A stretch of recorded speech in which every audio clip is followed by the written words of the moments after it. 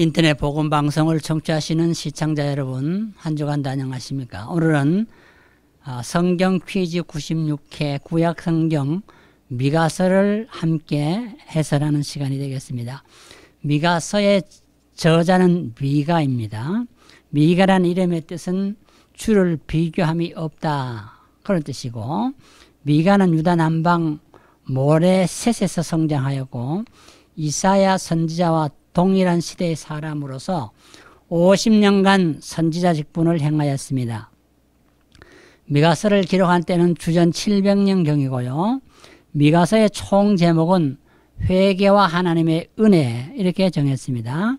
미가서를 기록한 목적을 보면은 사마리아와 예루살렘의 모든 죄를 회개하여 하나님의 은혜를 받게 하려 함에 있다고 했습니다. 현재의 황폐와 미래의 영광이 복잡하게 얽혀 있는 중에 베들레헴에서 메시아가 탄생한다는 미가 선지의 놀라운 예언이 기록되어 있습니다. 미가서는 4대지로 나눌 수 있는데요. 1대지는 사마리아와 예루살렘의 죄 1장 2장에 있고요. 3장에는 지도자의 죄, 4장 5장에는 메시아의 출현, 6장 7장에는 시온의 마지막 승리가 기록되어 있습니다. 미가사의 요절은 3장 11절인데요.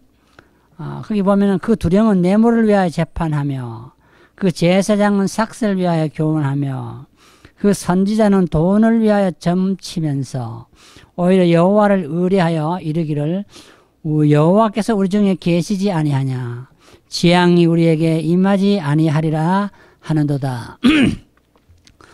아, 정치 종교 모든 지도자들이 어, 여기 보면 재물이라든지 삭시라든지 돈이라든지 전부 어, 돈에 관한 어, 것을 위해서 일을 하고 있다.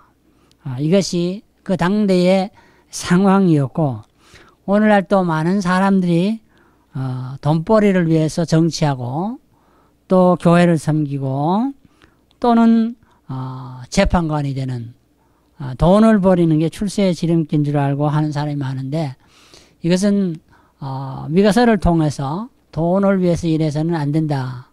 이것은 부패의 온상이고 나라가 망하는 징조라는 것을 깨닫게 되는 것이죠. 우리는 그러므로 사명을 따라서 힘들어도 일을 감당하는 자들이 미가서를 통하여 공부를 하게 됩니다. 이제 우리는 미가서를 퀴즈로 풀어보는 시간이 되겠는데요. 미가서는 누구를 위한 예언입니까? 했을 때에 1장 1절에 보면은 사마리아와 예루살렘을 위했다. 북쪽과 남쪽, 남북한, 우리나라 말하면 북한과 남한의 에, 국가를 위해서 예언하는 것과 동일하죠. 아, 2번 퀴즈. 죄는 구체적으로 무엇을 없애는 것으로 나타나나요? 했는데요. 구체적으로 죄라는 것이 무엇을 없애야 된다 그랬는데 1장 7절에 보면은 여러 가지 중에도 우상, 음행, 그 다음에 목상, 나무로 만드는 상 이런 모든 형상을 없애고 음행을 없애는 것이다. 우상을 섬기는 곳에는 항상 음행이 따라다니는데요.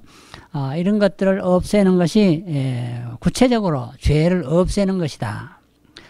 어, 3번 누가 화를 받을 자라고 했나요? 했는데 2장 1절을 보면은 간사한 경영자. 어, 간사한 경영자는 어, 하나님의 저주를 받을 자들이라고 했습니다. 4번 퀴즈. 이스라엘의 치리자들은 무엇을 좋아했나요? 했는데 3장 2절에 보면은 악을 좋아했다고 했습니다.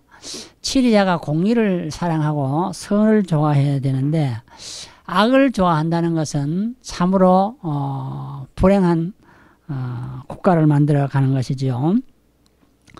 5번 퀴즈로 넘어가서 백성을 미혹하는 자는 무엇을 외치나요? 했는데 3장 5절에 보면은 평강을 외친다고 했습니다.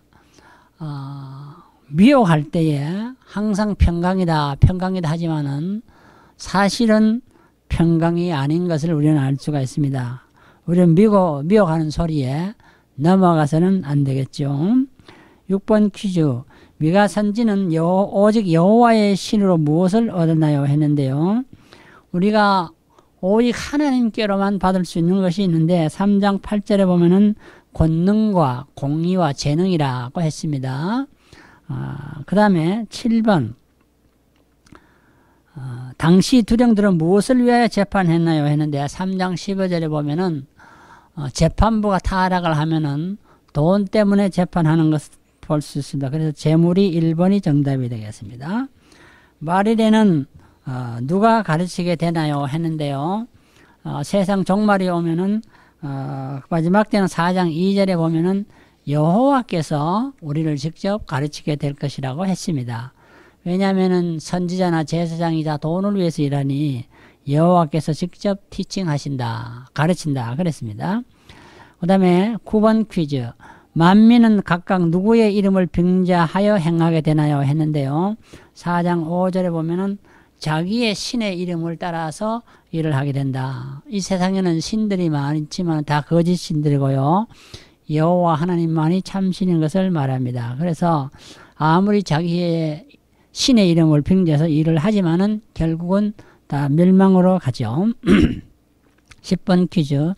이스라엘을 다스릴 자는 어느 족속, 어느 곳에서 나온다고 했나요? 했는데 5장 2절을 읽어보면은 이스라엘을 다스릴 자는 유다 족속에서 베들레헴 시골에서 탄생할 것을 미가 선지자는 예언을 했습니다.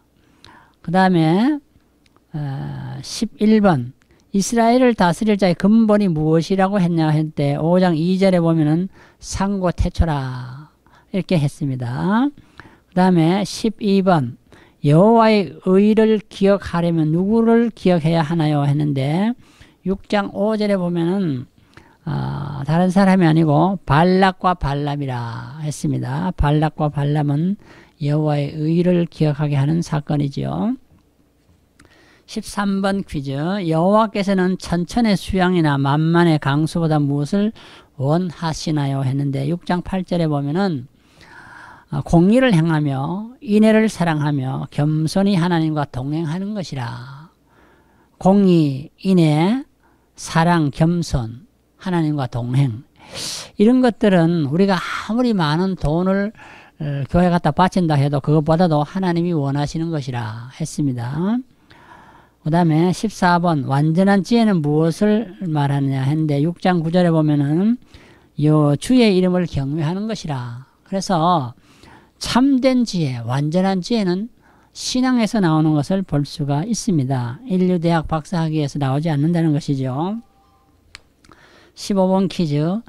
인간 세상에 없는 것은 무엇이냐 했는데요. 7장 2절을 읽어보면은 선인과 정직자. 이 땅에는 참 선을 찾아보기 힘들고 정직하게 살아가는 사람이 힘들다는 것을 볼 수가 있습니다. 그 다음에 16번 퀴즈. 가장 선한 자나 가장 정직한 자도 무엇과 같나요? 했는데요. 7장 4절을 읽어보면은 가시와 찔레 울타리와 같다. 사람들이 보기에는 가장 선한 것 같고 가장 정직한 것 같기도 한데 성경은 그런 자들이 가시와 찔레 울타리라 나무를 찌르고 상처를 입히는 자와 같다고 했습니다. 17번 퀴즈 우리가 믿고 의지할 수 없는 자들은 누구이냐 했는데 7장 5절에 보면 이웃과 친구 아내라 그랬습니다. 우리는 어, 이웃도 사실은 믿을 수가 없고 친구도 때로는 아내까지도 믿을 수 없는 존재라고 성경은 가르칩니다.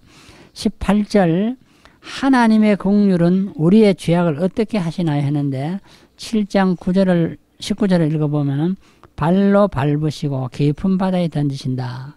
참 우리는 죄악이 많지만은 하나님이 그 죄악을 발로 밟으시고 보이지 않는 깊은 바다에 빠뜨려 버리는 모습을 볼 수 있는데 하나님은 우리의 죄악을 한번 용서하시면 기억지 않는 하나님인 것을 볼 수가 있습니다. 지금까지 우리는 어, 미가서를 공부했습니다. 미가서는 이 어, 결론적으로 역사적인 배경을 보면은 미가 선지자는 예루살렘과 사마리아를 왕래하면서 예언한 선지자입니다. 유다와 이스라엘은 호시탐탐 기회만을 기다리는 강대국 아수르의 침략 위기에 처해 있었으나 하나님께 돌아오기는커녕 영적으로나 도덕적으로 몹시 타락했던 것을 볼 수가 있습니다. 지도자들은 권력을 이용하여 자신의 탐욕을 채우기 급급했습니다. 어, 정치, 종교, 사회 모든 지도자들이 돈을 위해서 탐욕에 급급했는데요. 이러한 때에 미가 선지자는 메시아가 오심으로 새로운 세계가 이루어질 것을 예언했습니다.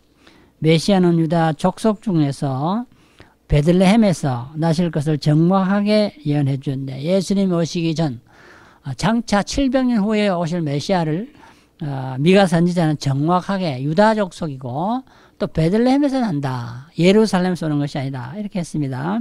그리고 하나님이 원하시는 것은 돈이 아니고 천천만만이 아니고 재물이 아니고 겸손과 공의와 사랑의 실천임을 강조했는데 오늘의 크리스찬들이 우리는 돈에 치우치지 말고 겸손과 사랑과 공의와 사랑의 실천의 에, 실천자들이 되어서 하나님 앞에 인정받는 신자들이 되시기를 바라는 것입니다. 여러분 또 한 주간도 승리하시기 바랍니다. 안녕히 계십시오.